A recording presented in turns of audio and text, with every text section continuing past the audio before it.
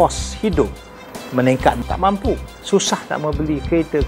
Mesti diberi autonomi. Orang muda nak bersuara. Malaysia ni banyak sangat sistem hospital kerajaan. Lepas tu satu kelas saja. Orang tamak rasa dia boleh makan 10 kali sehari. Hapuskan rasuah. Mahkamah kita ni selalu diganggu hakim-hakim. Disogok tidak akan berlaku penipuan. Ialah keadilan berlaku sepanjang masa.